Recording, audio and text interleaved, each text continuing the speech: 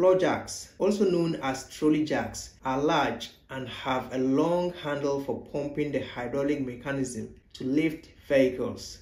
Hydraulic jacks are essential tools in automotive repairs, providing the necessary lift to access the vehicle's undercarriage. The primary function of a jack is to provide stability and support while elevating a part or the entire vehicle. Understanding the differences between various types of jacks is crucial for safety and efficient work.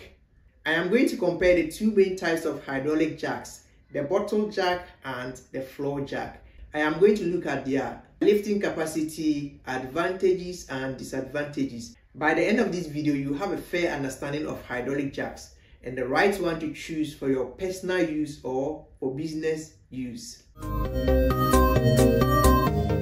Let's start with bottle jack or bottleneck jacks. Bottle jacks use pressure to lift vehicles, making them powerful and efficient looking at their size.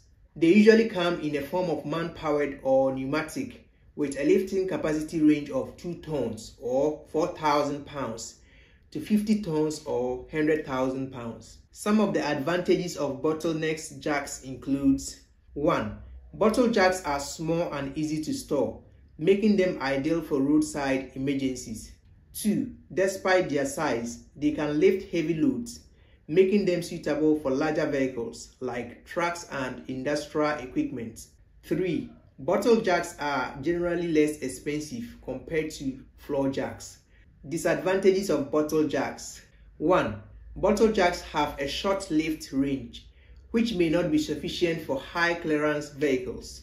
2. Due to their small base, they may not be as stable as floor jacks, especially on uneven surfaces. 3. Their design may limit access to certain lifting points on a vehicle. If you are planning to set up or upgrade your auto repair shop, I have set up packages that includes all modern tools and equipment you need to set up. I and my team in China ship them directly from China to your address. The next is floor jacks. Floor jacks, also known as trolley jacks, are large and have a long handle for pumping the hydraulic mechanism to lift vehicles. They have wheels, making them mobile and easy to position under vehicles. They are usually man-powered or pneumatic, but electric ones are popping up recently. Their lifting capacity ranges between 1.5 tons or 3,000 pounds to 120 tons or 240,000 pounds and this lifting capacity can even be more. Some of the advantages of floor jacks include 1. Floor jacks have larger base and wheels which offer better stability and balance. 2. They generally have a higher lift range making them suitable for a wide variety of vehicles. 3. Their long pumping handles provides leverage, making it easier to lift heavy vehicles. Disadvantages of floor jacks 1. Floor jacks are large and heavy, making them less portable and hard to store, especially if you want to keep it in your vehicle. 2. They are also more expensive than bottle jacks. 3. Moving them on rough surface is difficult.